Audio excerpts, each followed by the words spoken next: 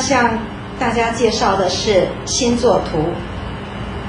星座，或者说星星，在天空上。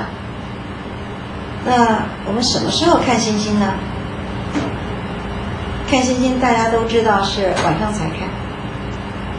嗯，白天天上也有星星，只不过白天的时候阳光太强了，星光实在太弱了，所以我们都是晚上才看星星。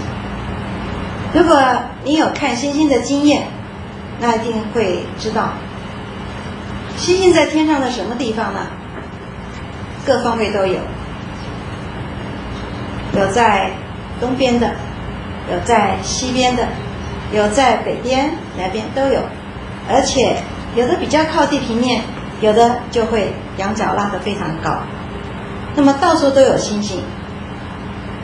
我们看星星的时候，会觉得哇，天上的星星好多好多。刚刚说的可以看得出来东南西北，也可以看得出来方位跟仰角。但是我们看不出距离，我们都觉得天上的星星好像每一颗都跟我们等距离，甚至于有的时候夜晚也看到了月亮的时候，我们还会说那个月亮旁边那颗星，你看你看，好像那个星就在月亮的旁边。事实上，星星到我们这里的距离，月亮到我们这里的距离差的实在太远。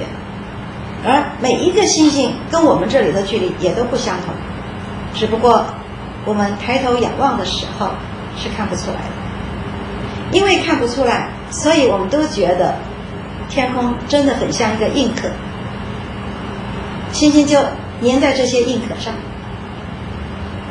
这个跟事实不符合，因为我们现在的科技都已经发展到外太空去了。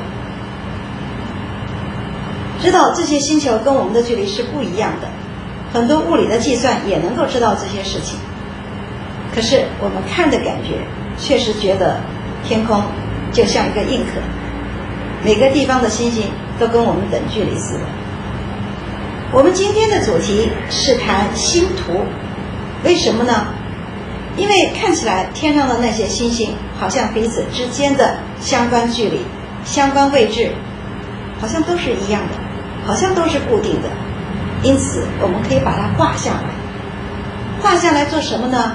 方便我们去利用这样的工具和天空的星星去检核，这样我们就可以去学着辨识这些星星，去学着认识它们。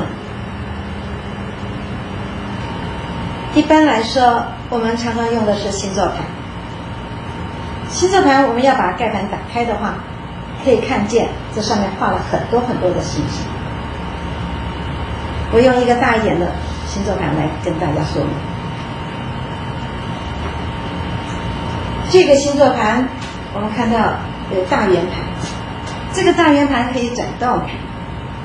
大圆盘上面画了一颗一颗的，这是天空上的星星了。不过。这个星座盘在使用的时候，很多人都觉得有些困难。问题出在哪里呢？因为天空并不是平的。